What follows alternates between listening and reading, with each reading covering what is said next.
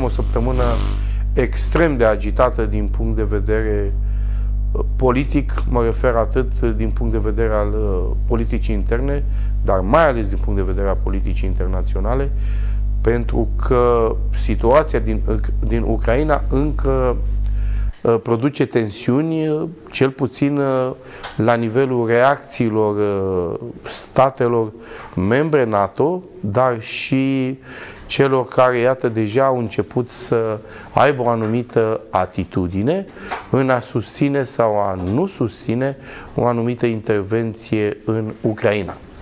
Cert este că eu am explicat, uh, existând foarte multe discuții legate de împrejurarea că ar trebui ca România să nu permită staționarea de trupe străine pe teritoriul statului român. Am explicat că o dispoziție constituțională, și anume articolul 118, aliniatul 5 din legea fundamentală, spune foarte clar că pe teritoriul statului român pot intra, pot trece, pot staționa și pot desfășura acțiuni militare, trupe străine, în condițiile rezultate de legi organice sau de tratatele internaționale la care România este parte. Evident, tratatul de aderare la NATO din anul 2004 presupune o serie de obligații pentru statul român, pentru statele membre mai concret, în virtutea cărora știm cu toții 2% din PIB merge către structurarea sistemului național de securitate, respectiv NATO a fost o condiție indispensabilă pe care fostul președinte american Donald Trump a impus-o statelor membre NATO. România, în calitate nu numai de stat membru NATO, dar și al parteneriatului strategic cu Statele Unite, a fost statul care uh, a hotărât cu fermitate ca România să investească, să acorde 2% din PIB pentru apărare. Însă sperăm cu toții ca diplomația să triumfe și ca uh, o eventuală, uh, zic eu, uh, provocare la război să nu atingă aceste cote în așa fel încât să fim puși într-o astfel de situație. Pe plan intern însă, situația este foarte gravă din punct de vedere al uh, rezolvării modalităților prin care statul român încearcă să rezolve problema privind facturile la energie, gaze, în condițiile în care s-a adoptat o ordonanță de urgență cu greșeli, pot spune, ordonanțele de urgență potrivit legii fundamentale, și aici mă duc la articolul 115, aliniatul 4, se adoptă în situații extraordinare, a căror reglementare nu poate fi amânată, guvernul având obligația de a motiva urgența în cuprinsul acesteia. E adevărat de această dată, era necesară prin ordonanță de urgență rezolvarea acestei modalități uh, prin a plafona prețul la energie în condițiile în care au venit uh, facturi cu sume incomensurabile. Mă refer atât la persoane fizice cât și la persoane juridice. Știți foarte bine situația de la Teatrul Național din București. Mai sunt și multe alte probleme legate de modul în care funcționează coaliția de guvernare, mă refer în special la partenerii principali, nu la UDMR, care stă în expectativă sau la minorități, ci la PSD, PNL, mai ales în uh, modul în care gestionăm numărul mare de cazuri de COVID, peste 30.000 în fiecare zi, avem la ATI peste 600 de persoane, am avut decese peste 90 de persoane, măcar Aici uh, pot să spun că modalitatea prin care uh, folosim tratamente de a limita numărul deceselor, contează foarte mult. Omicronul este, uh, pot să spun, o tulpină care poate fi tratată, însă foarte, foarte ușor uh, se penetrează, pot să spun, în sistemul imunitar al unei persoane. Aici sunt aspecte apoi legate de faptul că se cere demisia Ministrului Energiei, domnul Virgil Popescu. Se cerea demisia Ministrului uh, Sănătății, domnul Rafila. Aici mă refer la coaliția de guvernare. S-a discutat, s-au întâlnit, să nu mai expun în spațiu public astfel de opinii legate de activitatea miniștrilor. Știm foarte bine Miniștrii sunt evaluați, iar primul ministru este cel care are această competență de a evalua miniștrii, apoi i-ar trebui să discute tot în cadrul coaliției, iar în contextul în care există o propunere de revocare din funcția unui ministru, aceasta să fie uh, practic stabilită în cadrul coaliției. Știți foarte bine situația din uh, vechiul guvern, guvernul Câțu, când uh, USR cel puțin a doua oară când a fost uh, revocat din funcție domnul Stelian Ion, n-a mai acceptat să rămână la guvernare, dându-și demisia cei șase miniștri USR și atunci automat s-a schimbat structura sau compoziția politică a guvernului, fiind nevoie de un nou vot de investitură în situația în care se forma un nou guvern, ceea ce s-a și întâmplat cu Chiu Cuvai. Însă, majoritatea telespectatorilor, cetățenii României în special, caută soluții la invitați, la oamenii politici, la reprezentanții societății civile și nu numai, în așa fel încât România aflându-se într-o situație dezastroasă din punct de vedere economic, avem o datorie în acest moment de 136 de miliarde de euro, datorie externă, ne împrumutăm într-una ca să putem plăti pensii, salarii, nu mai spun că promisiunile legate de măsuri de asistență socială, respectiv uh, creșterea alocațiilor, creșterea salariilor, creșterea pensiilor și alte asemenea măsuri, nu știu dacă vor, vor putea fi transpuse în practică în situația în care România în acest moment nu dispune uh, de asemenea sume de bani care să poată genera astfel de măsuri. De asemenea, și cu asta chiar, chiar închei, nu pot să nu discut și despre faptul că în această săptămână, în continuare, Alianța pentru Unirea Românilor strânge semnături pentru suspendarea din funcția președintelui României. Am spus uh, că acele semnături n-au niciun fel uh, de eficiență juridică și că Propunerea de suspendare din funcția președintele României trebuie inițiată de o treime din numărul deputaților și senatorilor. Dacă nu întrunești acest vorum de semnători, atunci nu poți iniția propunerea de suspendare din funcția președintelui. Acele semnături sunt probabil uh, pentru a aduce în atenția opiniei publice faptul că președintele României nu se mai bucură de o anumită popularitate în rândul cetățenilor și că un eventual referendum, dacă s-ar strânge o treime din semnături, mă refer la parlamentari, dacă Parlamentul ar vota cu jumătate plus 1 propunerea de suspendare din funcție, atunci obligatoriu în termen de 30 de zile se organizează referendum pentru demiterea președintelui României. Nu să discutăm și despre acest aspect și despre soluții de Uh, eu știu, uh, transpunere în, în uh, practică a unei dispoziții constituționale care de fiecare am spus de 32 de ani.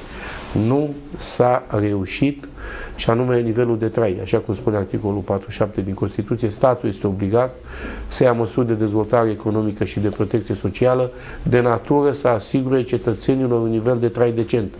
Cetățenii au dreptul la pensie, la concediu de maternitate plătit, la asistență medicală în unitățile sanitare de stat, la ajutor de șomaj, precum și la alte măsuri de asistență socială publică sau privată stabilită potrivit legii. Cei care vor să sune și să intre în dialog cu invitații o pot face apelând numărul de telefon afișat pe ecranul televizorului, iar invitații mei din această seară o să vi prezint imediat. Încep cu doamna Veronica Ariton, care este președinte Consiliul Național ADER, bună seara, bună doamna Ariton, și bună mulțumesc seara. pentru prezența în emisiune. Apoi, domnul Ovidiu Hurduzeu, care este vicepreședintele Mișcării Pământul Strămoșesc. Bună seara, domnule Hurduzeu, mulțumesc pentru prezența în emisiune. Și nu în ultimul rând, uh, domnul Danil Tulugea, secretar general Partidul România Mare. Mulțumesc tuturor pentru prezența Bună în emisiune. Seara.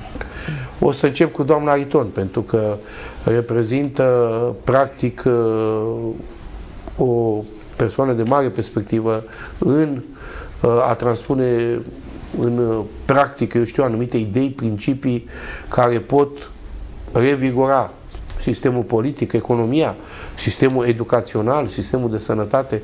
De aceea ADER înseamnă adevăr, democrație, educație și reconstrucție, dacă nu mă înșel. Da? da. Vă rog. Vă mulțumesc. Ați indicat foarte multe teme importante da. cu care românul în ziua de astăzi se confruntă, iar uh, presiunea este una ridicată pe cetățean în aceste momente. Și atunci responsabilitatea tuturor decidenților politici actuali este să vină cu soluții sustenabile și să se renunțe la acest, uh, cum ar veni, la acest tenis, de a duce mingea dintr-o parte în alta, cine este de vină, eu sunt, nu tu ești în guvernare, dar de fapt ei sunt cei care ar trebui să, să revină cu soluții. Și atunci eu împreună cu echipa mea, așa cum a zis și noastră, provenim dintr-un partid cu interes național, cu ce, ce vrea să aducă această importanță vis-a-vis -vis de, de cetățeni și uh, să venim să venim în fața cetățenilor cu soluții sustenabile. Ați indicat mai multe sectoare. Dacă aș sta să, uh, de exemplu, să vorbesc despre domeniul energetic, pentru că până la urmă este palpabil și este resimțit de fiecare cetățean. Uh, vorbim de reglementarea energiei și vorbim de liberalizarea pieței, care oricum s-a întâmplat tardiv pentru România în, uh, în concordanță cu celelalte state, dacă stăm să, să o gândim așa. Înainte de acest val de scumpiri, liberalizarea pieții în România s-a întâmplat la 1 ianuarie 2021. Uh, situația din acest uh, moment nu se leagă doar de uh, companiile de utilități și de tarifele care sunt propuse, cât și de incapacitatea Autorității Naționale de Reglementare de da, Energie, pe care trebuie să, exact, pe care trebuie să o conștientizăm. Uh, însă, o primă, o primă întrebare. Da. ADER este de acord ca președintele ANR să aibă un salariu de 12.000 de euro? Um, Îi merită? Ce face pentru banii ăștia? Președintele ANR. Deci clar este discutabil nivelul acesta de salariu, pentru că trebuie să fie în raport cu nu atribuțiile unei autorități. Și atâta timp cât, de exemplu, autoritatea și-ar face treaba, poate nu ai putea să contești zona salarială. Însă atunci când sunt niște lagune și când există o discrepanță și când revenim la subiectul... Sunt pensii de 1000 de lei exact, în România. Exact. seama cum poți să compari 12.000 de euro pentru cetățeanul de rând care nu, Cu nu știe să facă uh, zic eu, uh, diferența dintre ce înseamnă 12.000 de euro. Înseamnă cel puțin 600 de milioane de da. lei vechi lunar. Da. Asta înseamnă. Da. Comparativ cu 1000 de lei pensie la Dif- unul. Diferența este, este una Colosală. de la cer și da. exact, de la cer și pământ. Um, iar pentru partea aceasta de ca atribuție, Autoritatea Națională de Reglementare și Energie, pe ce are în atribuții? Stabilirea tarifelor. Da? monitorizarea și chiar și retragerea de pe piața unor companii de utilitate dacă anumite zone de plafonare, zone de tarife nu sunt respectate. Uh, nu este neapărat o, o, o arie așa gri, adică necunoscută. Faptul că un milion de facturi au fost uh, emise incorrect este un mare semn de întrebare. Da. De cine au fost aceștia Corect. monitorizați? Merg către domnul Ovidiu Huduzeu. De ce? Să nu uităm hrană, apă, energie. Ce ne puteți spune și care este până la urmă Uh, principiul fundamental pe care se bazează această mișcare, Pământul Strămoșesc, ce are în vedere, mai ales că vă identificați cu domnul Călin Georgescu, nu? Președintele mișcării Pământul Strămoșesc. Vă rog. Um, ceea ce aș vrea eu să spun este că în ultimii 30 de ani, România a aplicat un model economic, așa numit un model liberal, eu aș zice chiar ultraliberal, care ne-a dus în situația actuală. Adică a fost un model uh, mânat exclusiv de lăcomie, bazat pe epuizarea resurselor naturale, pe distrugerea mediului înconjurător, pe exploatarea sclavilor din corporații și a statelor servile denaționalizate, cum este statul român. Da. Deci este un model economic. Acest, uh, acest model economic trebuie schimbat. Uh, Să schimbe cine și cum? Asta este problema. Da. Uh, Dacă îmi permite da. să intervin. Haideți. Uh, pe partea de modelul economic, cu siguranță, deci trebuie schimbat. Bun. acest Cum? model economic de tip uh, de consumerism, că noi, noi ca țară am rămas pe tipul consumerismului în momentul de față. Deci, cum se poate schimba? Cum? Atragem investiții. Guvernările... Uh, Cine le atrage și păi, uh, facem cu PNR-ul? V-ați uitat cu PNR-ul în acest moment? Cu siguranță. Se discuta că ar fi bine uh, să putem, uh, cel puțin asta e opinia Partidului Social Democrat, ca să putem schimba aspecte din PNRR. Asta ar însemna nu, este ca banii cel puțin 30 de miliarde de euro să întârzie cu cel puțin un nu, an. Este, este Care e opinia de? Nu, Vă este rog. inacceptabil. PNRR-ul atâta timp cât a fost uh, practic stabilit și oferit fiecărui stat membru în funcție de nevoi și de stadiul dezvoltării, revine responsabilitatea și pentru o singură chestie ca să putem politici. aduce bani mai mulți la pensie. Asta era ideea. Uh, pentru asta PSD-ul vrea. Probabil că acest eșantion al pensionarilor, care înseamnă vreo 2 milioane de votanți, le-ar fi adus un număr mare de voturi, dacă această măsură s-ar fi dispus. Vă rog. Consider că decidenții politici actuali cumva vor să, să pună un stop sau să pună un uh, să facă o întârziere din acest PNR dintr-un alt motiv. Care? Pentru că majoritatea uh, sumelor care sunt nerambursabile sunt acordate, dar cele care sunt acordate pe formă de subîmprumut trebuie să ai niște metrice pe care tu trebuie să le îndeplinești. Adică, mai pe scurt, să-i pui la treabă. Am înțeles. Domnul Horduzeu, scuze, puteți să vă continuați ideea. Da, acest PN nici Planul, de Planul Național de Redresare și Reziliență. Este da. o, un morcovel care ni se dă de la Uniunea Europeană și noi ne aruncăm pe el. Uh, de fapt, sunt niște bani care înțeleg că trebuie să-i dăm înapoi, adică nu e și sunt uh, nu sunt niște bani care să ne acopere nouă nevoile nevoile noastre. Scuzați-mă, dar sunt peste 20 de miliarde de euro, dintre care 11,2 da. nerambursabile, iar restul pe formă de subîmprumut. Cu 11,2 miliarde de euro, România pe partea de infrastructură și pe anumite segmente se poate dezvolta atâta timp cât anumiți lideri politici din guvernare ar face și ar aduce în fața cetățenilor uh, proiecte sustenabile ca să, pe stați, ca să, lăm, ca, să lăm, ca să lămuresc pe cineva, pe da. Paul Moantă, care a spus că e foarte frig în studio, că vă vede pe noastră în palton. Nu, e foarte cald în studio, însă pentru că doamna a venit cu uh, un, uh, nu, nu știu, dacă, cu o bluză care este de culoarea uh, pot să spun, uh, sistemului de studio pe care îl avem noi aici, nu aveam cum verde, să... Da, e verde exact cum avem nu, noi nu aici. Și de asta trebuie să punem paltonul ca să nu intre în, într-o altă formă. Da, vă rog. Ca să explicăm că spunea cineva că e foarte frumos paltonul și că e frig în studio. Nu ăsta e motivul. E vorba de cromă, ca să știm. Vă rog, domnul Uduzeu, dacă nu, uh, domnul uh, Tulugea, pentru că Partidul România Mare, un partid uh, care n-a fost niciodată la guvernare, un partid care a avut în Parlamentul României oameni de certă valoare intelectuală, totuși în acest moment se zbate în a se redresa și dumneavoastră știți mai bine la ce mă refer. Haideți să le explicăm telespectatorilor. Da, ce se mai întâmplă acum în România Mare și ce soluție are partidul pentru ca idei inovatoare, așa cum a spus eu titlul emisiunii, să poată fi totuși aduse la cunoștința cetățenilor români? În primul rând, vă mulțumesc pentru invitație. Îmi face o mare plăcere să mă reîntâlnesc cu dumneavoastră. Nu sunt extrem de încântat față de dialogurile pe care noi trebuie să le purtăm, dialoguri care, așa cum ați început dumneavoastră expunerea, încep cu o prezentare a unei imagini, a unei Românii în genunchiate.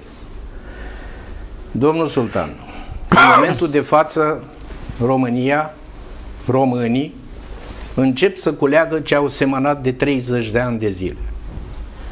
Partidul România Mare din 91 și până prin 2016, până când liderul său, Corneliu Vadim Tudor, a trecut în neființă, sprijinit foarte bine, a atras atenția de pericolul care o paște pe această țărișoară, de drumul greșit pe care a apucat din punct de vedere al structurilor politice și al preocupărilor guvernanților față de economia acestei țări. Iată am ajuns în momentul în care, pe lângă faptul că în 30 de ani nu s-a construit absolut nimic, de la cap la coadă, nici măcar un spital, nici măcar un drum ca lumea, pentru că să nu uităm, autostrada Soarelui a fost începută pe timpurile da, celelalte. Da. Da? Deci, pe lângă faptul că nu am construit absolut nimic, am dărâmat și ce aveam. Nu vreau să fac eu un inventar al distrugerilor care s-au produs în România în cei 30 de ani de zile, dar chiar în aceste zile noi trăim drama unei lipse de preocupări și cred că și a noastră, a celor de rând, de viitorul copiilor noștri și al acestui neam. Nu putem să scoatem în evidență, pe lângă distrugerile economice, distrugerea de neam. Deci această uh, uh, fugă a românilor din țară pentru a găsi o bucată de pâine mai ușor... E, aici, doamna Ariton, scuze că vă întrerup puțin că aveți mare dreptate de parte de mine gândul de a discuta acum despre diaspora. Pentru că e un subiect care presupune să facem 5-6 emisiuni. Am încercat de Absolut. fiecare dată să discut Absolut. Uh, despre acest subiect. Există uh, asta ca o mică informare a telespectatorilor. S-a înființat în 2017 Ministerul pentru Românii de Pretutindeni, condus de un ministru. Am avut doi miniștri, doamna Postârnac și doamna Natalia Intotero, însă în momentul în care guvernul Dăncilă a fost demis, la o scurtă perioadă de timp, uh, Ministerul pentru Români de Pretutindeni a fost desfințat, s-a transformat în Departamentul pentru Români de Pretutindeni, condus de un secretar de stat departamentul fiind aflat în subordinea Secretariatului General al Guvernului și de aici, iată, capacitatea de a putea avea o anumită sferă de acțiune pe plan extern, din păcate s-a diminuat în condițiile în care avem 6 milioane de cetățeni români plecați în străinătate sub diverse motive, evident majoritatea uh, din motive economice, pentru că n-au uh, avut posibilitatea, datorită ineficienței statului de a asigura un nivel de trai decent, să poată să susțină familia de aici. Și de uh, această dată foarte mulți au plecat, repet, și au intervenit familii dezorganizate, abandon școlar pentru copii, iar mințile noastre luminate, multe dintre ele au plecat uh, în exterior și iată-ne în situația în care am ajuns. Ăsta e unul din motive le pentru care România a ajuns aici, așa cum a început domnul uh, Tulucea să spună. Da. Vă rog, imediat o să-i dau cuvântul și doamnei Ariton. Da. Deci, uh, nu poate să rămână, nu poate să ne rămână indiferent acest exod al uh, românilor. Păi în programul de guvernare, și... fiecare program de guvernare este un capitol special da. unde Ministerul de Externe în final spune relația cu românii din diaspora, relația cu Republica general, Moldova și, și minorități da, naționale. General, Dar nu se întâmplă mai nimic. În general ne pleacă tinerii da? Cele mai, cele mai uh, luminate minți ale neamului românesc pleacă să muncească pentru economiile altor state. Ce este soluție avem ca să nu mai plece? Eu am două fete, le-am crescut în spiritul de a munci, de a se pregăti și de a munci în țara lor. Aici să-și crească copiii și să, să, să contribuie la la bunăstarea uh, noastră și a tuturor în general. Merg către domnul Hurduzeu, însăși denumirea, mișcarea Pământul Strămoșesc. Ce veți face sau cum veți proceda pentru ca, sau ce măsuri aveți în vedere pentru că am spus-o încă o dată la începutul emisiunii, domnul Călin Georgescu este punctul de reper al uh, acestei da, mișcări. Uh, Vă rog. Această mișcare uh, susține proiectul de țară a, a domnului uh, Hrana, apă, energie, nu? Hrana, apă, energie, Perfect. domnului Călin uh, Georgescu și în jurul acestui proiect să știți că uh, s-a dezvoltat foarte rapid o mișcare de asta spun că este o mișcare deci nu există, nu e un partid, este nu, o mișcare. Nu e un partid, Bun, este, ca să, este și ca să, e, ca să totuși ce vreau avem... totuși să vă întreb și să nu omitem în această discuție. Săptămâna aceasta dacă nu mă înșel, domnul Călin Georgescu sau cel puțin Partidul, Român, ă, Partidul Alianța pentru Unirea Românilor a expus prin toate mijloacele că domnul Călin Georgescu este președinte de onoare al Alianței pentru Unirea Românilor. Care e opinia mișcării? Nu este deocamdată, am precizat și vicepreședintele AUR, uh, Claudiu Târziu. A, domnul Târziu, Claudiu Târziu, da. Târziu. Deci uh, a fost o propunere, a fost o propunere. Ei au spus că o certitudine. lor. A fost o propunere uh, da? o invitație de, pentru domnul Călin Georgescu de a fi președintele de onoare a acestui partid. Domnul Georgescu a acceptat dar uh, ca domnul Călin Georgescu să devină președintele partidului, trebuie să urmeze niște pași de onoare, da. legali. Deci aceasta va fi oficializată, dacă va fi, la Congresul uh, AUR. Deci Evident. până atunci vorbim doar de o propunere Ar care fi a fost o lovitură de imagine, oricum AUR e în creștere în acest moment. Uh, ar fi o lovitură de imagine în condițiile în care, să nu uităm, în 2020 după alegerile din 6 decembrie, când uh, președintele României a chemat partidele la consultări, partidele parlamentare, au rămas cu propunerea Călin Georgescu, ceea ce a făcut și în 2021. Călin Georgescu, prim-ministru. Numai că de data aceasta nu mai este vorba de prim-ministru, este vorba președinte. de, pre, de, de, da. de președinte. Uh, eu, uh, în opinia mea, aș vrea ca toate forțele patriotice să, să se unească Um, să nu ne mai canibalizăm într-un fel uh, și toate să, să, să convergem spre, uh, spre aceeași direcție. Asta nu înseamnă că trebuie să ne uh, pierdem uh, identitatea noastră ideologică sau uh, scopurile care le avem, dar uh, trebuie să existe câteva scopuri mari mari, adică la care toată lumea trebuie să, să cadă de, de acord. Uh, fiindcă astfel uh, diviziunile noastre, separarea uh, și toate aceste lupte interstine din uh, cadrul mișcării suveraniste, aș vrea să spun, da, da, da, da. suveraniste, nu face decât să beneficieze cei care vor distrugerea României, chiar trădătorii de țară îi avem, îi putem identifica, bine, pot fi trași la răspundere. Dacă se dorește. Da, e, e destul de greu, însă haideți să fac o singură completare și apoi să las pe domnul Tolucea să continue ideea și apoi doamna Ariton. Uh, am mai spus-o de câteva ori despre trădare. Infracțiunea de trădare e prevăzută în articolul 394 cod penal se discuta de multe ori de faptul că președintele poate fi suspendat din funcție sau acuzat de înaltă trădare.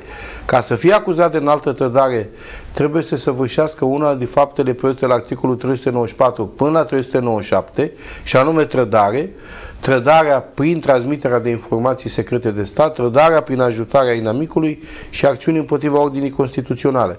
Ca să existe infracțiunea de trădare, trebuie ca cetățeanul român să intre în legătură cu uh, un cetățean străin sau cu un agent al acestora în scopul de a suprima sau știrbi unitatea, independența, indivizibilitatea și integritatea statului român prin suminare economică, politică sau de altă natură față de acel stat, a servire față de o putere sau organizație străină. Bineînțeles, când vorbim de conflict armat, că ajuți un stat străin să ocupe teritoriul, merge mult prea departe. Însă asta este vis-a-vis -vis de trădare. Domnul Tulucea, vă rog. Domnul Sultan, uh, subiectele astea sunt uh, mici diversiuni uh, și care, din punctul meu de vedere, nu trebuie să facă obiectul preocupărilor de zi cu zi. Noi avem instituții ale statului plătite cu bani foarte Știu. mulți ca să se ocupe pentru a se autosesiza sau a se sesiza de asemenea încălcări și să ia măsurile de rigoare care sunt prevăzute în Constituție și în toată de acord, legislația numai că, românească. Numai că toate organizațiile civice și nu numai uh, constată derapaje ale aplicării legii în cadrul instituțiilor statului. E, asta e o nu avem problemă. independența justiției, sunt foarte multe, după atâția e ani. E una din marile da, probleme cu care se confruntă Sesizată și de Partidul România Mare, românească, bine. bineînțeles, dar da. tot timpul am sesizat această mare lipsă de, de preocupare a instituțiilor statului față de... Datorită ce... intervenției factorului politic, ca să fim concreți. Da. Sunt politizate majoritatea instituțiilor. Dacă le depolitizăm, Dar să nu, nu știu uităm, cum, să nu uităm atunci... că aceste instituții, membrii acestor instituții au niște jurăminte depuse față de țară, Sigur. față de drapelul țării au, și așa au. mai departe. Pe... Da, da, Bun. nu au nicio răspunde. Decât Problema uh, noastră este una mult mai gravă decât aceste, să căutăm noi cetățenii de rând, uh, trădătorii de țară, vinovații de diferite acțiuni. Uh, problema este extrem de gravă. În momentul de față, astăzi, când noi vorbim, societatea românească este pusă în genunchi. Toată lumea se miră de aceste prețuri enorme absolut deloc justificabile la gazele naturale și e, curentul electric. Fica mea cea mică astăzi a primit factura la gaze, 1600 de lei, la o, o casă cu trei camere, da? Numai gazele, 1600. Salariul mediu în România e 2500 de lei. Da? Să zicem că marea majoritate a tinerilor noștri sunt la 2500 de lei la salariul mediu. Da? Păi dacă dau 1600 pe gaze, să explice cineva cum poate să trăiască o familie de trei persoane, da? cu copil mic și așa mai departe, cum trebuie să aibă toți tinerii din țara asta. Deci, România se confruntă cu niște probleme care nu mai amână nu Bun, poate să corect. mai amâne. Uh, care sunt soluțiile ca să deblocăm, să Guvernul, guvernul în momentul de față este pe post de pompier. Da. Trebuie Ce? să stingă acest incendiu, nu știu cum, e problema lor, când au înstrăinat toate resursele naturale, când au externalizat toate exploatările minerale, toate, toate zăcămintele țării le-au externalizat, câștigă alții de pe urma e o măsură de pe urma darurilor pe care ni, bani, Dumnezeu ni le-a lăsat. Așa e. N-a întrebat pe nimeni. Așa Acum este. să găsească soluție ca românii să poată să trăiască. Ca soluție pe zona energetică, dacă îmi permiteți, da? consider că în, într-adevăr responsabilitatea stă pe, umerul, pe umerile, umerii guvernanților, însă ca soluție efectivă nu este plafonarea doar pentru acest sezon. Deci haideți să vorbim oamenilor pe șleau. În Marea Britanie a existat plafonare la nivel național în decursul a întregului an, da? Încă din 2017. Asta e o păcăleală. Nu, nu, e, nu este o păcăleală. Nu, nu, nu. nu. Trebuie cu să fie plafonare, o, cu... E o păcăleală. Uh, vis-a-vis de ce se întâmplă acum, ar fi o păcăleală pentru, pentru oamenii care au, primit, care au primit aceste facturi incorrecte emise. Și atunci, dacă dumneavoastră nu sunt, ați sunt corecte, că fica... Sunt corecte, are 300 de, de metri cubi consumați. Problema e că au triplat, au de 5 ori preț. Da, dar trebuie să fie într-un prag de plafonare pe care l-au stabilit. acea factură trebuie să fie verificată. Dacă acea factură este de 3, 4, 5, 6 ori mai mare decât uh, facturile anterioare, prima direcție este să te, uh, să, să, fi, să, na, să, să te adresezi ANPC-ului. Transformăm poporul român în controlor de facturi? Nu, în niciun caz. Însă putem să recomandăm omului decât să plătească ceva incorrect emis. Da. Adică pe partea aceasta, eu nu zic, eu zic ca o soluție pe partea de informare, dar pe, ca o soluție pe partea guvernării este această, această plafonare la nivel național, pentru că discutăm de niște scumpiri care uh, nu au acum o bază de proiecție pe partea de tarifare și vă spun pentru că am, uh, am, am lucrat în acest domeniu. Deci, uh, la nivel global, Acum se vorbește de, despre o instabilitate, o instabilitate a pieții. Deci, indiferent de ce s-ar întâmpla în România, ă, gazul și electricitatea, nimeni nu mai poate să-ți dea o proiecție de un an sau trei sau doi. De aceea, multe companii mari internaționale au și scos tarifele fixe. Pentru că nu mai poate nimeni crea acea proiecție pentru tine ca și corporație pentru profit, de exemplu, aferent. Și atunci, revenim la, uh, la pragul acesta. Dacă cetățeanul ar fi fost protejat de guvernanți, cum ar putea să fie protejat? A se asigura un sistem de plafonare la nivel național, nu pentru acest sezon, pentru întregul an, da? care să fie un proiect de lege de acum încolo, adică cum a fost această, uh, acest, acest CSAT, în, a, da, sau ordonanță da, de urgență, de urgență da. trebuie să se organizeze un CSAT pe partea de monitorizare, care sunt atribuțiile ANR-ului? Și-a făcut treaba în această perioadă? Dacă nu a fost îndeajuns de uh, clar pentru stabilirea, pentru uh, stabilizarea acestor prețuri. De ce au explodat da. prețurile Însă, atât de rapid? Și trebuie să spun un lucru. Păi... Consiliul Suprem de Apărare a Țării organizează și coordonează unitar serviciile care privesc apărarea României și, mă rog, misiuni de cooperare internațională. Da. Deci vorbesc de securitate națională. Apropo, Numai dacă energia cum a fost, de exemplu, la nivel uh, pandemic. Da. Problemă de securitate națională, atunci CSAT-ul poate la calcul și, și energia da, în exact. acest context. În acest vă rog, context, ca să-i dăm voi și domnului Huduzeu după aceea. Vă punct de, da, de sigur, vă rog. am vorbit despre soluții. Mai există o soluție. Noi suntem ca membru da, în Uniunea Europeană și așa cum uh, ne-am încadrat în pactul verde pe partea da. de energie regenerabilă și pe reducerea emisiilor de carbon, Comun, există și o comisie în cadrul Uniunii Europene de care orice europarlamentar român trimis acolo trebuie să aibă habar, Ministerul Energiei la fel, în care s-a acumulat un buget pe partea de eficientizare a acestui proiect și al Pactului Verde de 20 de miliarde de euro. Cum se poate proceda ca membru? Orice guvernant poate face această cerere. Deci nu este vorba de un proiect european în care să intri într-un sistem de procesare între 6 și 12 luni să vezi dacă absorbi acei bani europeni. Nu. Ca și guvernant, ai posibilitatea să spui în cadrul Ministerului de Energie ne confruntăm cu această situație. Deci, cetățenii au nevoie de sprijinul nostru. Deci, Avem nevoie de sumă Veronica, X. iertați-mă, e foarte frumos. Sunt informații utile. Sunt da, informații sigur. disponibile sunt, pentru sunt orice lecții, sunt lecții din manual. Deci, în nu, România, sunt reale. în România, da, nu se aplică. În România, Asta producătorii de gaz natural și de electricitate sunt uh, firmele statului român, nu sunt ale da. unei firme din da, America, da, da. din Germania. Da. Deci statul român poate să fixeze prețuri pentru că sunt ale statului. Nu trebuie să facem filozofie deloc. Ceea ce fac ei în momentul de față cu plafonare, cu compensare și așa mai departe, este un joc de glezne. Dar ei, prin aceste prețuri, măresc PIB-ul, domnișoară. Vin bani la buget au oamenii cu ce să se joace cu acest buget al României. Da. E simplu, nu trebuie niciun Corect. CSAT. Ministrul da, Justiției are în mână toți producătorii de resurse naturale. Da, ministrul. Domnul Huduzeu, vă rog. Da, foarte corect ce ați spus și dumneavoastră și dumneavoastră. A, problema de ce s-a mărit prețul ăsta la energie? Când Au nevoie de bani. Nu, dar pe plan, da. pe, pe plan european, pe plan mondial. E pe plan păi, european. În primul rând, România, de ce acceptă acest ecosocialism? Că e un ecosocialism. Noi producem 90% de ce acest din necesarul. New Green Deal? De ce? Aici deci, țin să vă, să vă adică...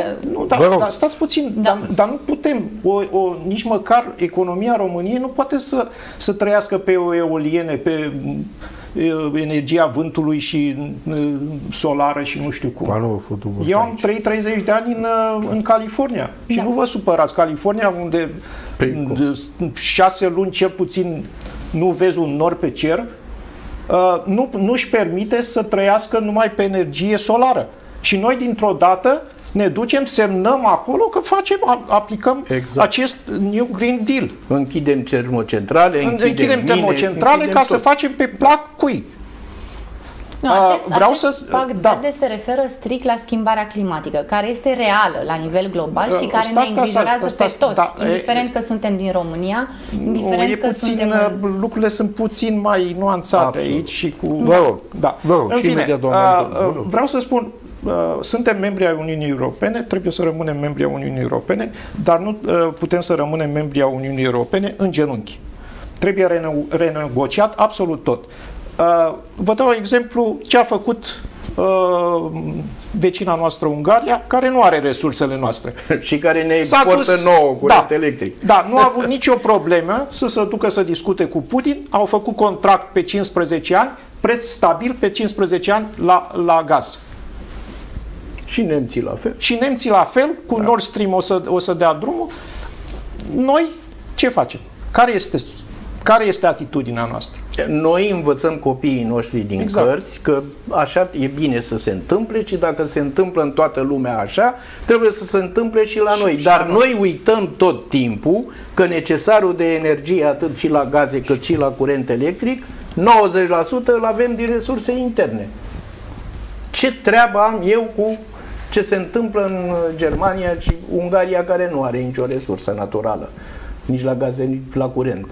Noi avem da, centrală ea, nucleară, e nu foarte adevărat tot timpul nu suntem să facem al treilea Ce facem grup. noi? De asta am spus soluții inovatoare pentru România. Păi, de domnul, asta am chemat aici. Domnul Sultan, prima mare măsură este să se încet, să înceteze de urgență uh, toate politicile economice care funcționează în momentul de față în România.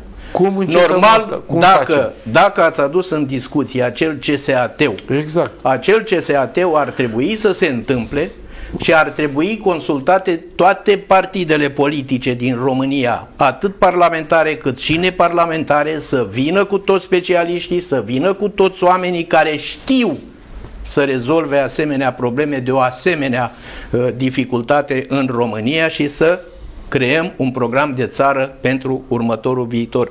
Pentru viitorul De programe nu uh, duce în lipsă. Dar, ducem domnul, lipsă de transpunerea lor în practică. Exact. Domnul, aplicare. Vă rog, vă domnul rog. Sultan, ați adus în discuție Uniunea Europeană. Fac da? parte din grupul celor care, deși mulți critică politica, principiul ăsta care l-a lansat Băsescu, care și-a dorit înființarea Statelor Unite Europene. Eu așa am gândit eu, de când am început și eu să gândesc cât de cât politic, că ar asigura o pondere, o contrapondere la puterea economică a Statelor Unite ale Americii, că de asta vorbim noi. O țară este liberă în momentul când e puternic, Unite, Chinei, din, puternică din punct de da, vedere da, economic. economic și militar, da. Dar militar mai puțin că avem NATO. Noi am făcut acest pas. Da? Adică Uniunea Europeană ne-a luat de mânuță și ne-a tras și ne-a băgat în Uniunea Europeană. Noi n-am îndeplinit niciodată condițiile pentru aderare normală la Uniunea Europeană. Mă rog, domnule, Dar dacă... ne-au impus ne-am impus acolo să... Dar, domne, dacă ai invitat la masă... cel puțin 18 obiective. Au fost condiții de preaderare, știți bine. Au absolut, fost, absolut, absolut. Exact. Dar care încă tragem. Da. Pentru că pe zona Dar dacă, de justiție, de reformă judiciară... Să nu uităm că Dar dacă eu față... am invitat la masă un amărât, L-am pus la masă, mi-e drag de el, nu știu de ce, dar l-am invitat la masă sau poate în perspectivă am nevoie de el aia nu înseamnă că îl las, îl dezbrac de demnitate. Știu. MCV-ul de... încă nu ne-a...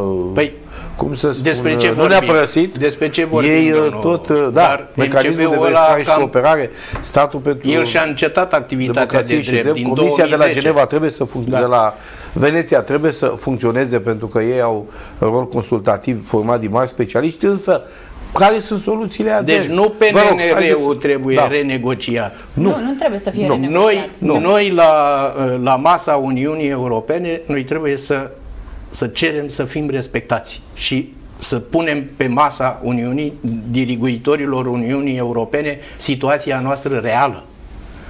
Noi trebuie să spunem foarte clar, nu ne putem alinia la prețurile și la cerințele Uniunii Europene a muncitorului, a omului de rând din Germania cu cel din România care trăiește cu 200 Știu, de euro pe lună. Știu, subvențiile pentru agricultură, deci, sunt cu multe. Tot, cu tot respect. Vă rog. Mie, mie, eu aș putea să spun că uh, Uniunii Europene ar trebui să-i fie rușine de situația din România. Nu știu dacă e, păi să ne spună doamna să fie rușine. Care e realitatea de no, fapt acolo? Aici am, am... Trăi mult timp în uh, străinătate, vă rog. Aici am o altă perspectivă. Da. De exemplu, văd MCV-ul da? ca un mecanism prin care corupția care nu a fost eradiată în România și la care se, se lucrează foarte creativ așa și uh, foarte ostentativ din mai multe părți, uh, are nevoie cetățeanul și instituțiile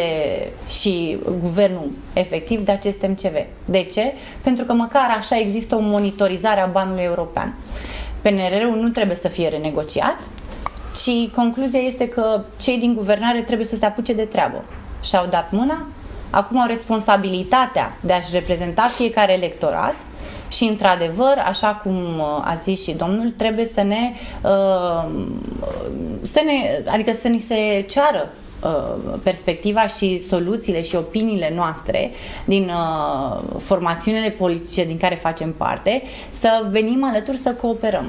Cât de mult ați văzut că tinerii sunt interesați să participe efectiv la viața politică din România? Tineri ca dumneavoastră. De ce spun asta? Pentru că sunteți practic viitorul. Dacă vrem reformarea clasei politice, trebuie să, vin, să venim cu ceva în schimb. Avem în acest moment în acest moment avem tineri, avem specialiști, avem seniori. ADER, ca partid național, își dorește să creeze puntea între generații, așa cum v-am menționat și mai devreme, înainte de emisiune. Uh, trebuie să înțelegem uh, raportul acesta și, uh, până la urmă, relația da? de reciprocitate și de beneficiu în, prin această punte de între generații. Adică un tânăr poate să vină cu idei noi, cu uh, soluții uh, creative, iar un senior poate să vină cu expertiza și cu experiența de viață necesară prin care să se pot aplica aceste lucruri. Dar așa cum a fost mai menționat mai devreme, uh, proiecte de lege sau idei au fost, numai că nu a existat dorința de a le aplica. Aici e problema în politica uh, înaltă a României și decât să găsim vinovați externi, ar fi foarte bine să ne raportăm cine ne guvernează și cât de capacitați sunt să ne guverneze. Da, e adevărat. Aceasta este concluzia. Asta este concluzia Pe partea acum. de soluții, repet, avem uh, timp că mai avem și partea a doua. Resurse uh, din zona uh, Uniunii Europene, noi trebuie să creăm din această emisferă doar o punte de uh, oportunitate prin care dacă avem decidenți politici capacitați, iubitori de țară, credeți-mă că nici atunci... Păi avem, în, uite, mișcarea nu, nu, Pământul Strămoșesc, în să-și denumirea. Mă referam la Parlamentul European. Că da, Alianța pentru Unirea Românilor. Deci s-a considerat mai devreme că da? suntem îngenunchiați în Parlamentul European. Nu suntem îngenunchiați în Parlamentul European. Nu, Parlamentul avem nevoie European, de uh, politicieni români care să reprezintă România într-un anumit fel. Nu suntem îngenunchiați, avem păi, oameni care stau în genunchi. Păi, asta păi e problema. Este, aici este păi, diferența. Atunci acei oameni trebuie vorbim. să se reprofileze. E. Păi, și... Rareș Bogdan știe ce vorbește. Bă, trimitem da. în Parlamentul European și, de fapt, da. fac politică antiromânească acolo. Da, am avut situații, da. Însă, v-am zis, este foarte importantă această structură internă, adică reformă politică internă. Cum o facem? Pentru... Asta vă întreb pe fiecare dintre dumneavoastră, pentru că am Așa dezbătut de zis. foarte multe ori aici în emisiune Uh, situația concretă din punct de vedere constituțional, constituțional. instituțional, uh-huh. peste care nu se poate trece și foarte bine decât dacă modificăm Constituția. Un aspect care iarăși ține de, de competența clasei politice. politice în, în orice domeniu ne lovim de oportunitatea clasei politice. Însă, după un scurt moment de publicitate, revenim, rămâneți pe Capital TV.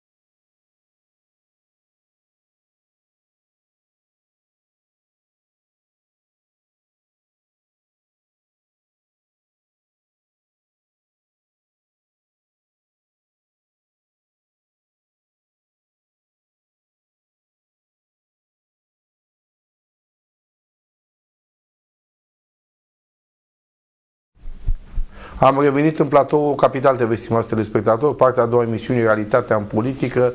Idei inovatoare pentru România este titlul emisiunii noastre de astăzi, alături de invitații mei, care pentru prima dată sunt prezenți în platou Capital TV, doamna Veronica Ariton, care este președinte Consiliul Național ADER, domnul Ovidiu Hurduzeu, care este vicepreședinte Mișcarea Pământul Stromășesc și domnul Danil Tulugea, care este secretar general Partidului România Mare.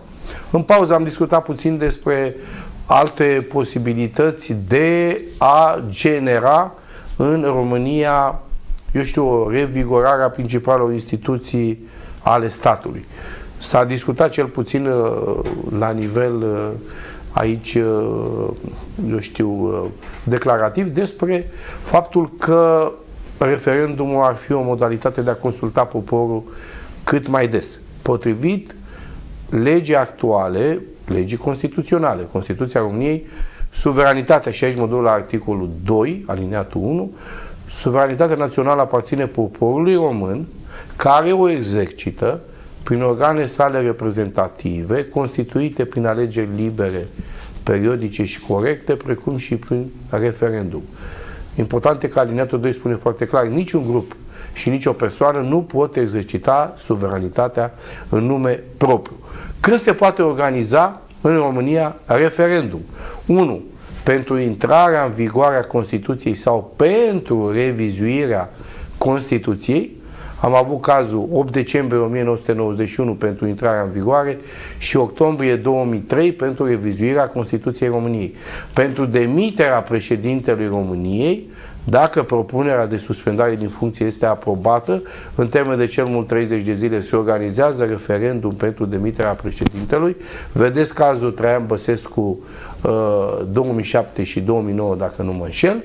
Și o, o singură modalitate mai este pentru a consulta poporul cu privire la probleme de interes național.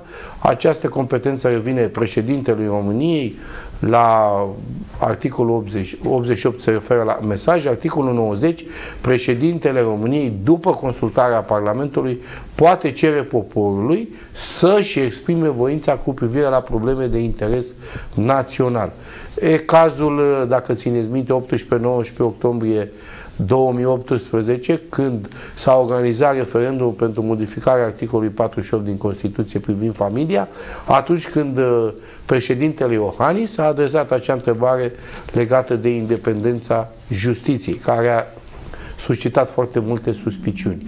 Revizuirea Constituției, și cu asta închei, poate fi inițiată de președintele României la propunerea guvernului, o pătrime din numărul deputaților sau senatorilor, precum și a unui număr de cel puțin 500 de mii de cetățeni cu drept de vot, care trebuie să provină din cel puțin jumătate din județele țării, iar în fiecare din aceste județe sau municipiul București să fie registrate cel puțin 20.000 de semnători în sprijinul acestei inițiative. Însă, ulterior, propunerea trebuie adoptată de Camera Deputaților și de Senat cu o majoritate de două treimi din numărul membrilor fiecarei camere. În momentul de față, coaliția PSD, PNL, UDMR are acest număr de două treimi, dar nu știu dacă revizuirea Constituției este pentru ei uh, principala, eu știu, oportunitate pe care ar trebui să o aibă în vedere, mai ales că ne confruntăm cu alte aspecte și de ordin, uh, spun eu, militar, și legat de pandemie, de modul în care coaliția funcționează, deci crize politice și așa mai departe. Însă, modificarea Constituției este un proces destul de greoi din punct de vedere instituțional. Ultima chestie, inițiativa legislativă. Cetățenii au drept de inițiativă legislativă, însă trebuie un număr de 100 de mii de cetățeni cu drept de vot, care trebuie să provină din cel puțin un sfert din județele țării, iar în fiecare din aceste județe sau municipiul București să fie înregistrate cel puțin 5.000 de semnături în sprijinul acestei inițiative. Nu pot forma obiectul inițiativei a cetățenilor problemele fiscale, cele cu caracter internațional, amnistia și grațierea. N-am avut niciun fel de inițiativă cetățenească, în afară de cea din 2018 privind coaliția pentru familie, făcută de aceștia, pentru modificarea articolului 48 din Constituție. Nu s-a reușit, pentru că în cele două zile de referendum cetățenii români nu s-au prezentat în uh, numărul în majoritatea prevăzută de legea 3 pe 2000, legea referendumului. Însă, în momentul de față, este necesară, cel puțin dacă în 2024, în urma alegerilor, românii, cei care în mare parte nu s-au prezentat la vot, nemai avut încredere în clasa politică, nemai avut nicio opțiune, nevenind un lider care să le suscite interesul și să-i reprezinte, așa cum spune legea și Constituția, adică în uh, spiritul interesului național, al reprezentării intereselor cetățenilor români și, mă rog, alte, alte principii, iată că ne-am aflat într-o astfel de situație în 2019. Încep cu domnul Huduzeu, pentru că ar vrea să ne prezinte din partea uh, mișcării, nu? Da? da uh, Pământul strămoșesc, un fel de grafic, ce, ce este acesta, dacă regia îl, îl poate afișa pe ecran, dacă nu, Haideți că ați, ați vorbit la un moment dat de democrație directă.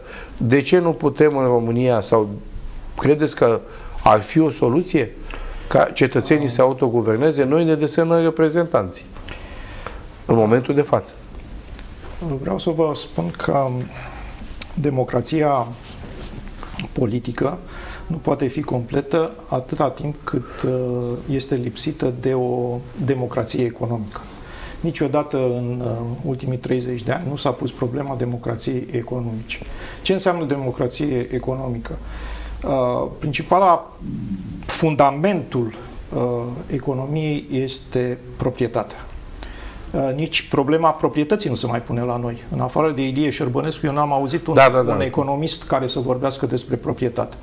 Da. Deci noi nu mai avem proprietate ca țară, deci proprietate națională și uh, românii sunt... Ne referim uh, la resurse la sau resurse. la proprietatea privată asupra terenurilor, că asta în cam, condițiile cam rezultate cam, de aderare României la Uniunea Europeană, străinii și apatrizii pot dobândi dreptul de proprietate privată asupra terenurilor uh, sau în condiții de reciprocitate sau pe bază de moștenire. Asta spune Constituția. Vă rog. Uh, Dar privitor la resurse aveți mare da, dreptate. Deci la, la resurse și la... Nu mai controlăm noi principalele resurse uh, naturale, așa și, cum a spus și domnul Tolucea în prima parte. Și nu numai atât. Da. Uh, vorbim de proprietate și de proprietatea productivă, adică uh, uh, Uitați graficul, domnul uh, Fuduzeu, dacă... Uh, Uitați-l da, acolo. A, așa. Uh, ce vrea să reprezinte? Deci, o, o imagine spune mai mult decât o mie de cuvinte. Uh, în partea stângă observați un uh, sistem centralizat. Sistemele centralizate depind de centru, și uh, știm foarte bine, sistemul centralizat a fost uh, sistemul comunist și uh, sistemul de astăzi. Centrul nu mai ne aparține, centrul acum este în Europa, deci este un, cent, un sistem centralizat unde uh, centrul statal este foarte slab în România.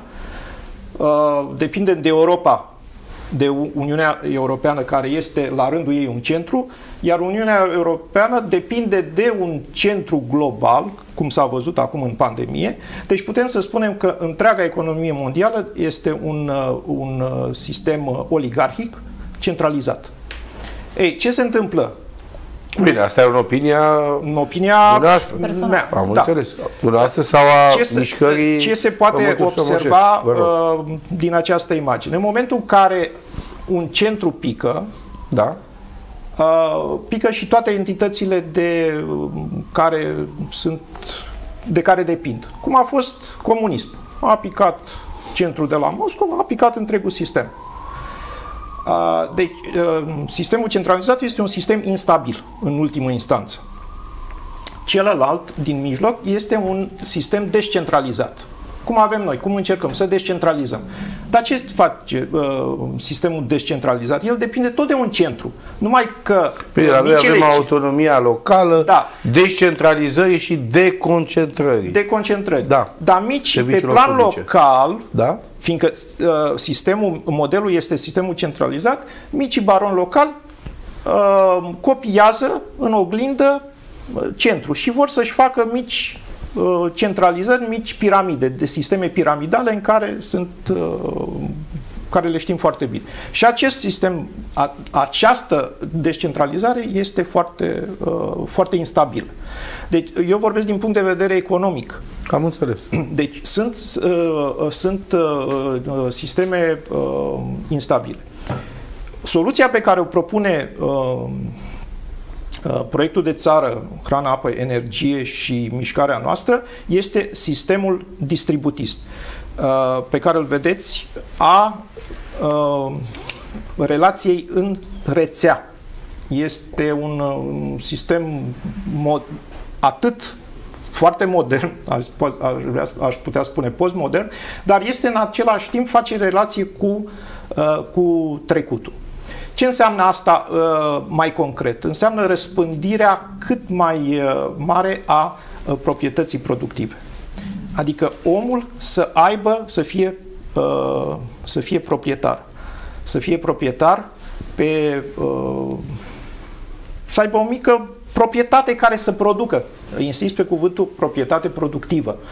Că la noi sunt destule proprietăți, am avut, uh, am avut totuși norocul să ieșim din comunism cu uh, uh, proprietatea imobiliară, deci uh, românii sunt uh, Țara cu cele, cu mai, cele mai multe multe proprietăți, case proprietare. ceea ce nu convine uh, sistemului oligarhic uh, actual, Exact. fiindcă ar fi trebuit să fim uh, datori la bănci, uh, ceea ce nu suntem, uh, să vedem cât, uh, cât o să mai uh, țin această, uh, îndureze această situație, fiindcă în momentul în care uh, oamenii nu o să-și mai poată plăti Le rezolvă uh, acum cu curentul și curentul gazele și și- da. gazele, vor trebui să-și să-și vândă proprietățile, că altfel nu, nu o să poată să, să supraviețuiască. Nu, aici revine importanța și responsabilitatea guvernanților. Așa cum s-a menționat mai devreme, acest val de scumpiri nu este exterior României în primă fază. Nu, este domnișoară, interior guvernul României a făcut-o. pentru că 70% Guvernul se a reduce către făcut-o. stat. Păi și dacă există conștientizare pe această temă, nu aducem omul în ultima, în îngenunchiere, că vorbeam de îngenunchiere mai devreme. Nu are treabă cu uh, cum este văzută România în Uniunea Europeană uh, sau că România este îngenunchiată, îngenunchiată în, fia, în fața Uniunii Europene, ci de responsabilitatea decidentului politic înalt să uh, preia din această presiune care este pusă acum pe cetățean fără niciun sens. Și atunci, dacă suntem conștienți de acest val de scumpiri și de banii care se duc tot către stat, unde trebuie să fluidizăm?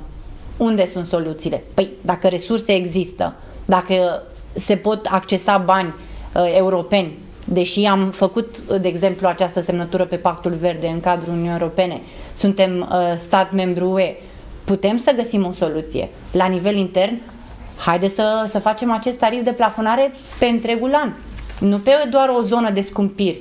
Că nu mai vorbim de o proiecție instabilă pe un curs de 3 luni.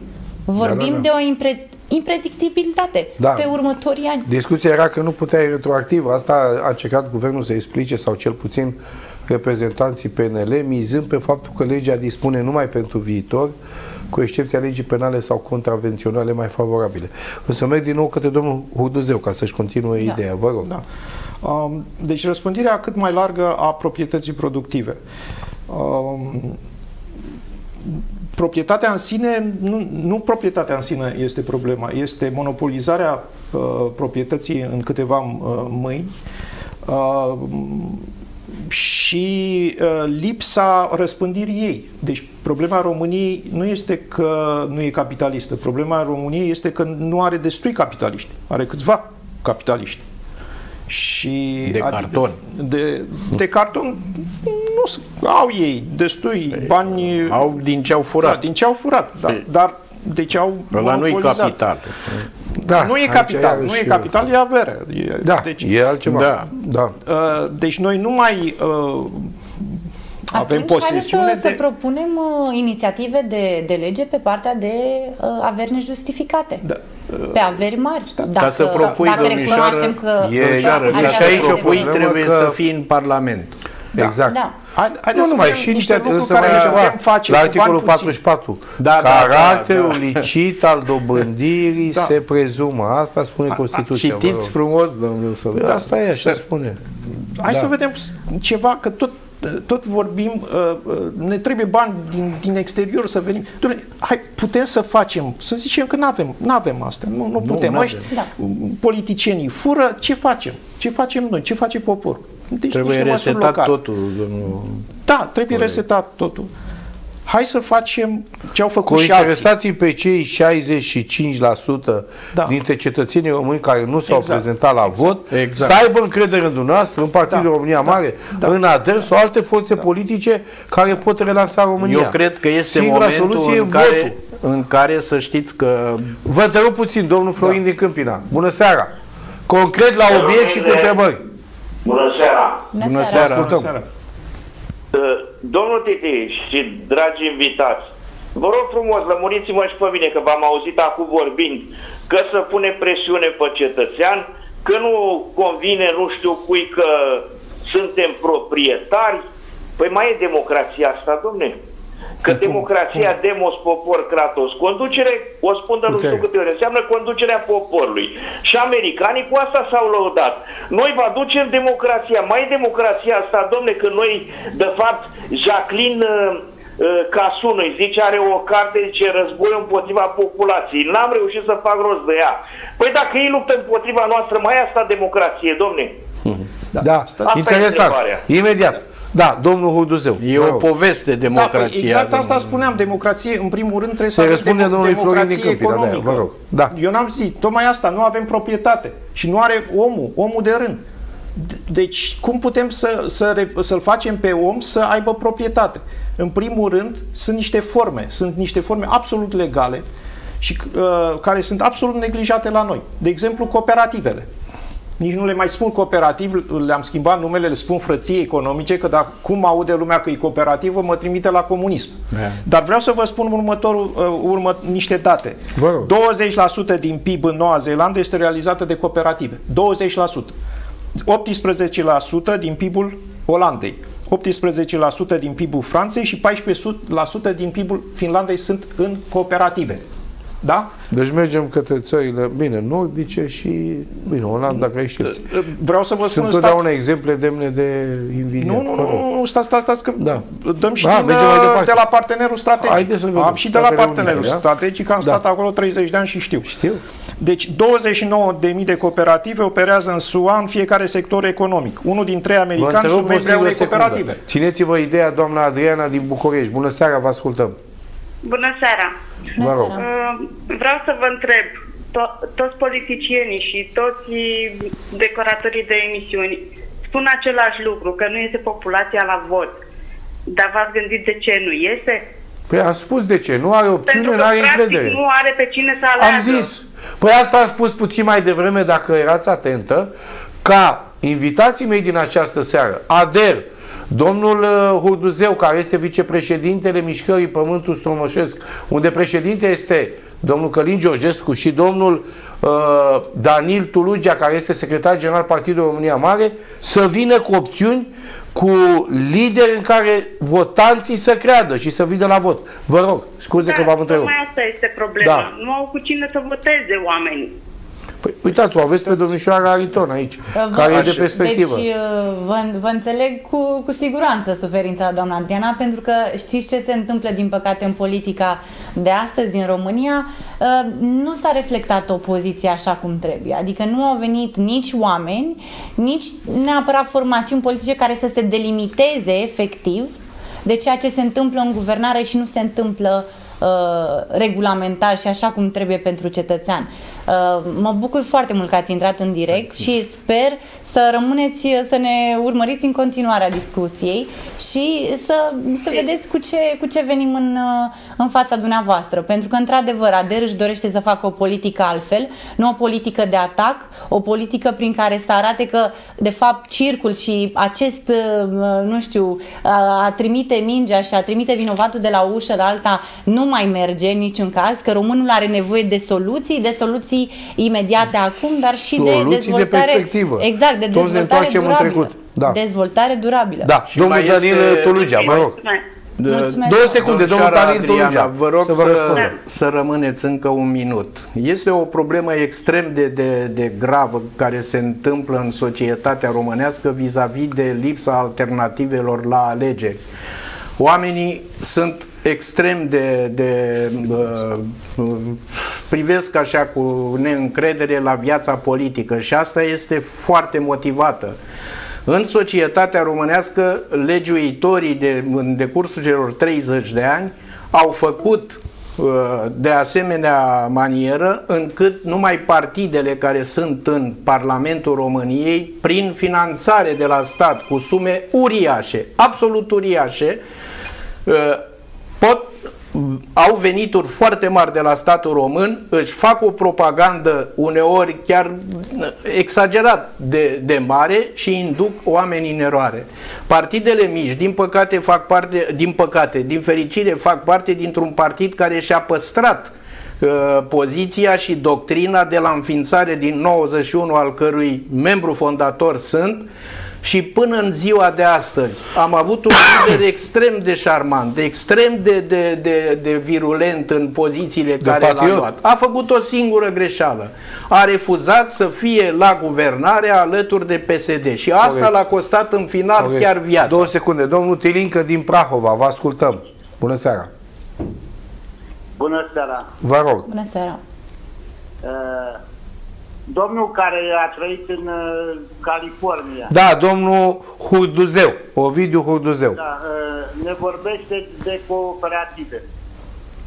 Da. Adevărul este că la ora actuală în România sunt asociații, nu mai le zicem cooperative, le zicem asociații agricole, în care proprietarii de pământ au arendat pământul unor oameni cu utilaje care lucrează pământul, celor care au proprietate listă de cereale în jur de 600-700 kg la hectar anual și pământul se muncește.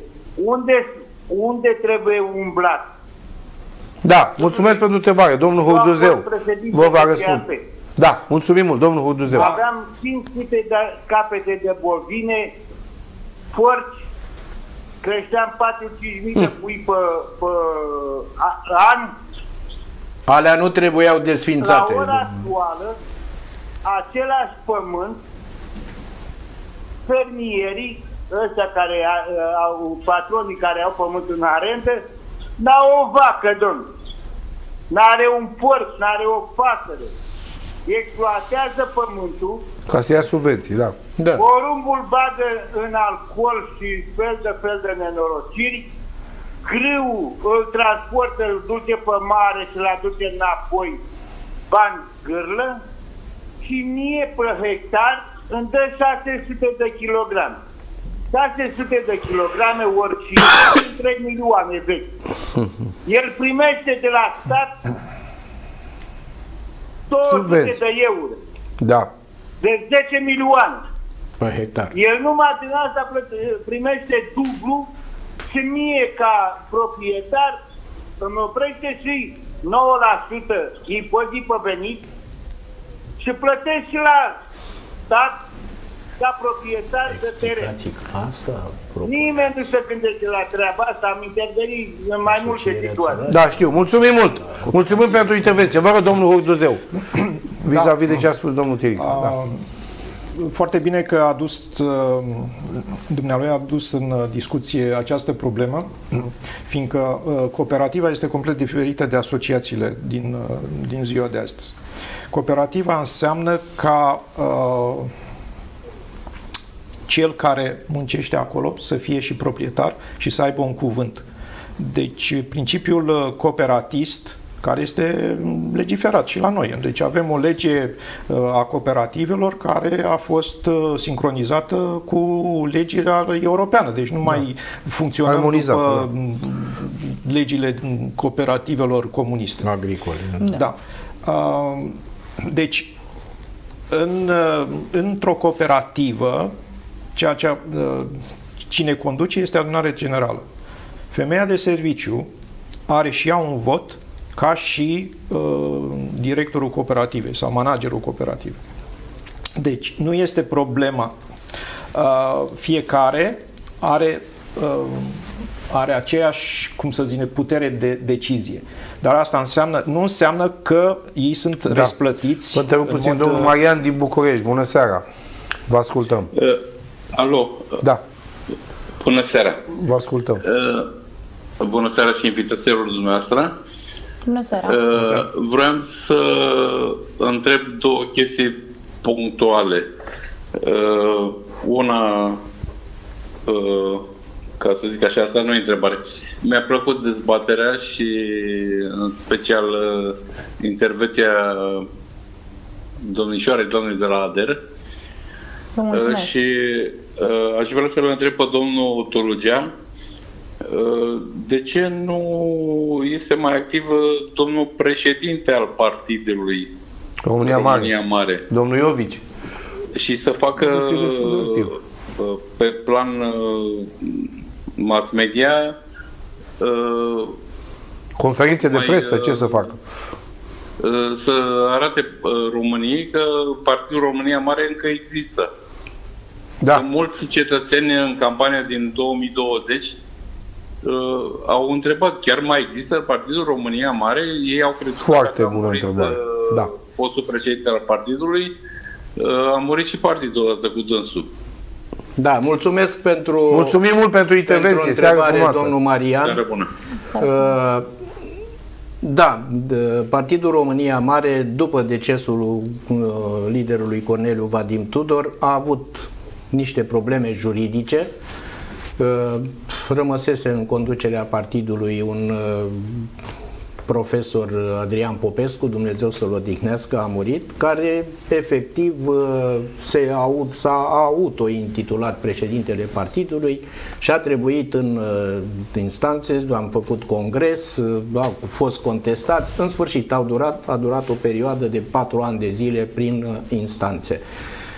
De aceea, în perioada asta, noi, într-un fel, am fost obligați să fim Vă mai suspendați activitatea, mai clar. Pentru că eram da. contestați da. tot timpul. Exact. La alegerile din 2020, Partidul România Mare, la alegerile parlamentare, am avut candidați pe liste complete în 28 de județe, iar în total, la nivel de, de țară, în 38 de județe. Suntem într-un colț da. de reorganizare. Două secunde, domnul și... Ciprian de la Oradea și imediat da, continuăm. Da, da. Bună seara, vă ascultăm! Bună seara, Doamne ajută! Și aș vrea să întreb pe domnul de la uh, Pământul Strămușesc, în legătură cu președintele partidului. Uh, am înțeles că nu e partid, e mișcare. Cu... Domnul Călin Georgescu, e da. mișcare. Da. Mișcarea Neamul Strămușesc sau Pământul, Pământul Strămușesc, vă rog. Cu domnul Călin Georgescu. Am înțeles că este prieten foarte bun cu domnul Isărescu. Nu. Nu cred, dar a circulat astăzi, m-am urmărit și eu toate acele mișcări și domnul Dumnezeu știe, uh, mișcări patriotice și așa mai departe, unde circulă o poză. Dar haideți să ne edifice domnul Hurduzeu. Da, deci uh, domnul Călin Georgescu nu are nicio legătură cu Călin... Uh, cu Mugur Isorescu. Cu Mugur Isorescu. Păi și dacă... Uh, mai vreau să mai spun un lucru legat de uh, clubul de la Roma uh, și a dat demisia de la, din clubul de la Roma, deci nu mai este membru al clubului de la Roma. Uh, și Iar suspiciuni legate de Teohari Georgescu, la fel. Haideți să o lămurim și pe asta, că lumea da. întreabă. Nu are nicio legătură cu Teohari Perfect. Georgescu. Domnul meu, eu vreau să întreb, de ce nu vrea domnul Georgescu să se unească cu alți patrioți? Cu cine anume? Dați exemplu. Cu cine? Se caute să unească cu oricine vrea să se unească. Păi asta spune și domnul Hurduzeu. Da. Spuneți-i domnului Ciprian da, ce a spus da, acum jumătate de oră. Uh, tocmai asta am vrut să, să subliniez că ar trebui o unire, o unire a, a tuturor patrioților, a tuturor forțelor su, suverane, să nu se mai mănânce între ei, să nu se mai canibalizeze. Pur să elimine toate acele orgolii. Să, să, exact Adică această, chiar modelul economic pe care îl uh, propunem noi, uh, am spus că este o economie smerită, o economie care, uh, nu știu cum, să fie un model economic căruia căruia îi pasă pe, pe, pe, de, to- de noi toți. Deci este... Indiferent, domnul, domnul meu drag, economia nu prea are așa mare importanță la ora actuală în România, pentru că acești administratori de 32 de ani și-au permis Corect. să vândă cele mai importante resurse, așa e. Țării, fără să întrebe poporul. Da, Sunt domnul Huduzeu, vă rog. Da, Absolut este, este adevărat, dar uh, problema României este nu numai că uh, sunt uh, clasa politică, foarte mulți dintre ei sunt trădători de neam, uh, problema lor Problema noastră este că nu avem leadership politic, nu avem uh, oameni care să poată Bine, să ca să fie trădător de neam, trebuie să-i dovedească justiția, deocamdată la modul teoretic. Vă rog. Dar care justiție să dovedească care... Asta care e, ce să facem? Deocamdată asta o avem, da. cu asta mergem mai departe. Știți cum e? Ăștia sunt cu ăștia defilăm. Și prof, din punct da. de vedere da, profesional sunt foarte slabi. Trebuie să fim oameni, să avem oameni la conducere. Pe asta, asta vorbim până acum. Exact. Asta am discutat până acum, motiv pentru care am în platou tocmai reprezentanți ai Ciprian, unor forțe naționaliste. Vă rog. veniți alături de un de partid politic cu uh, preocupări naționale și așa, numai așa se poate construi o platformă politică puternică. Uh, și vreau să spun Domnul Uduzeu vrea să vă mai spună da. ceva, domnul Ciprian. Deci, modelul, modelul economic da, da. pe care îl propunem uh, noi, acest uh, model distributist, care am zis creștin distributist, că e și creștin uh, din, în esența lui, nu este apanajul lui Călin Georgescu sau al mișcării Pământul Strămoșesc. El a fost propus întregii clasei politice. Deci, uh, AUR, la un moment dat, în campania electorală, chiar l-a adoptat. A spus că modelul lor economic este, se bazează pe modelul Ca titulatură, dar n-a explicat nimeni. Da. da. Deocamdată n-a făcut. Da. Să sperăm că dacă o să fie asta este, uh, da. domnul Călin Georgescu, de asta trebuie... președintele lor uh, onorific, să adopte acest model. Nu știu. Uh, dar, uh, deci, nu cum, hai să ne unim păi, cu toții, să vedem soluțiile. Când a stabilit domnul Georgescu o masă rotundă cu, de exemplu, Diplan, uh, Aurelian, uh, Dumitru și toți ceilalți care, și domnul Târnăveanu și domnul Motogu, când i-a chemat pe toți cu doamna uh, Șoșoacă, cu Mihailască, când a chemat la o masă rotundă să vadă ce e de făcut pentru popor nu doar pentru interese materiale. Uh, da. Eu am zice că toți acești, multe dintre aceste personalități sau, au, sau, acționează ca oare, un partid. Oare nu merită stat la masă cu acești oameni dar n-a zis da, nimeni, nimeni că nu. Zis că nu Domnule Ciprian, aveți foarte mare dreptate. Ceea ce nu există acum în politica românească curentă este lobby-ul politic. Adică puterea, capacitatea fiecărui decident politic, fie că provine dintr-un partid uh, parlamentar sau o formațiune mai mică, de a încerca să exercite această cooperare. Da? Dar asta este, de fapt, tehnica și strategia partidelor mari. Pentru că s-au perindat mereu pe la canale de televiziune în care au, exi- au existat doar Foarte corect. Și domnul Ciprian, Aveți îi puneți la o masă. Cum să se înțeleagă ei când fiecare dintre persoanele pe care mi le-ați enumerat vor să candideze la funcția de președinte. Mai puțin Mihai Lasca și Maria Motocu. Spuneți-mi și da, mie. eu, eu, eu i-am cam urmărit cam pe toți păi, și, și eu, vă dați uh, seama. toți au interese în spate consider că și domnul Georgescu are.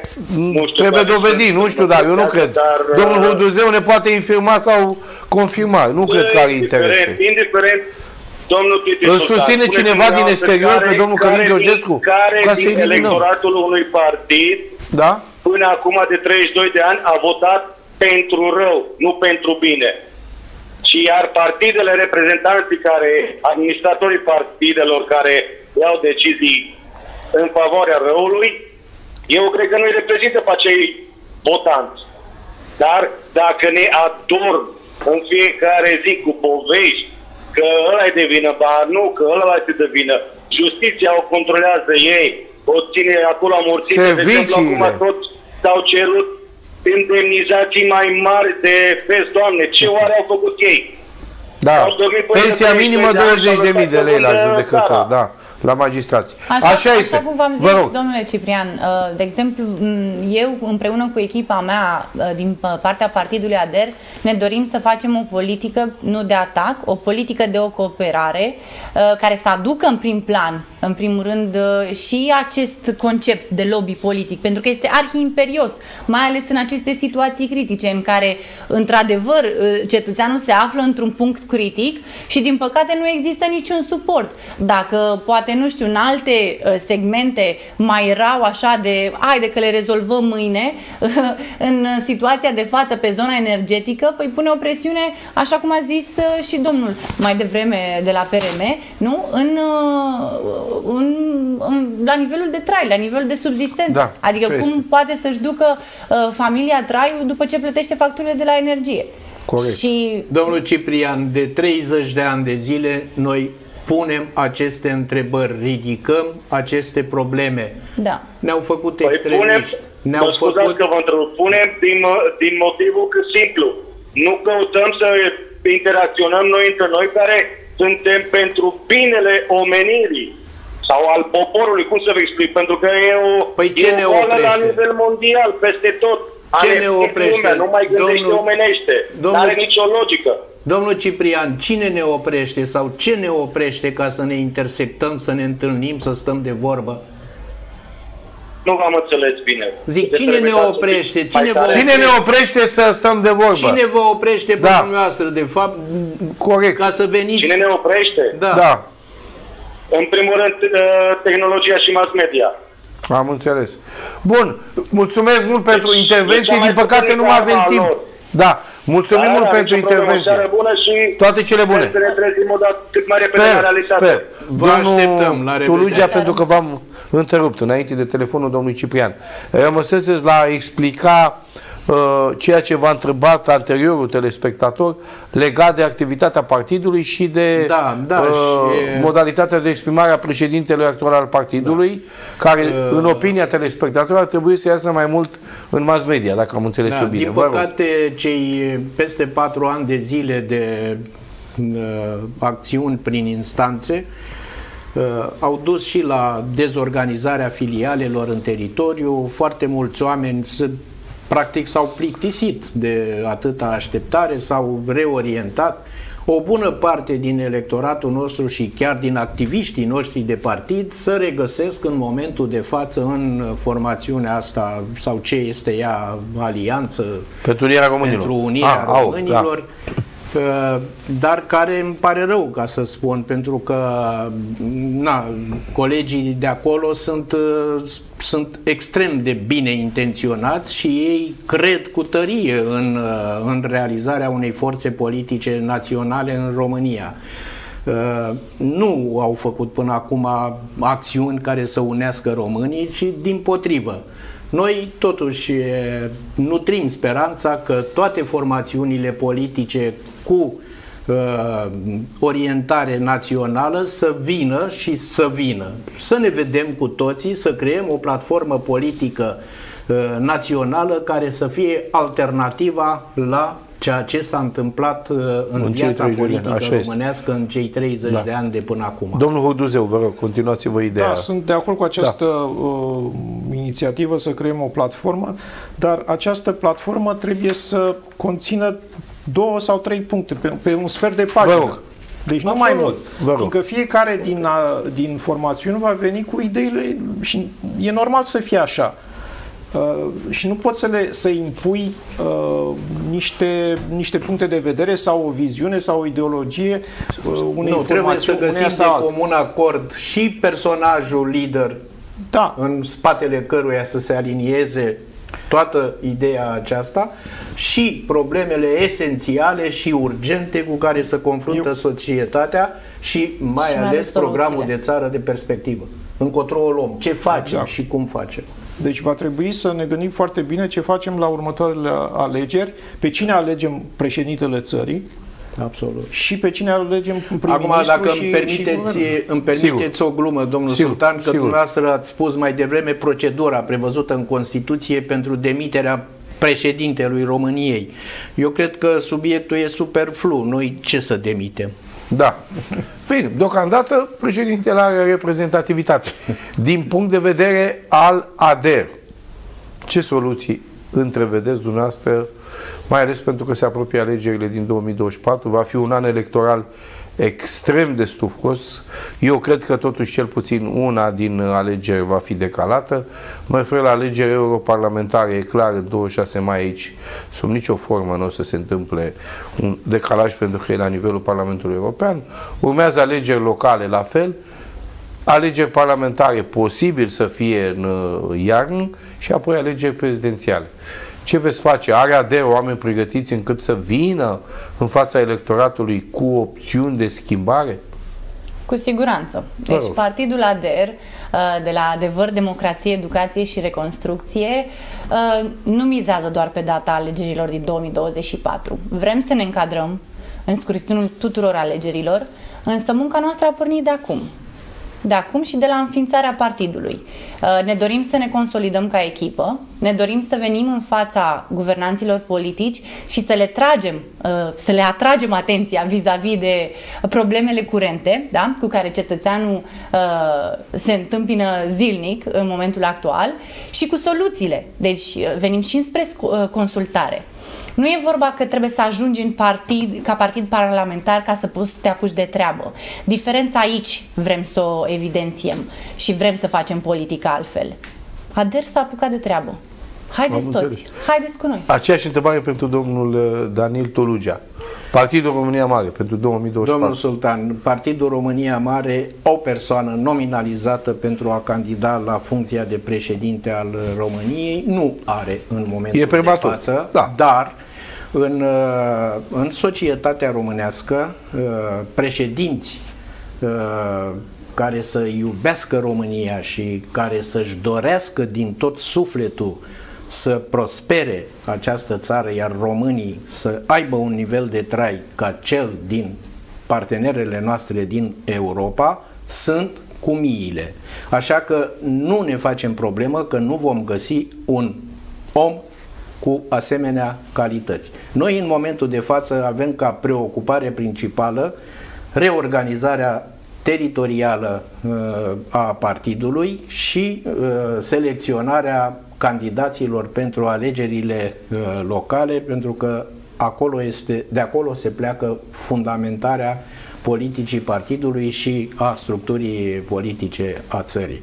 Da, domnul Hugduseu, evident îl veți susține pe domnul Călin Georgescu. Da, de... Cum și-a schimbat uh, opțiunea domnul Călin Georgescu atât de repede în circa un an, de la propunerea aur pentru funcția de prim-ministru la uh, aceea de a uh, se considera un candidat, eu spun, de anvergură la alegerile prezidențiale din 2024-2025, dacă vor fi decalate. Vă rog.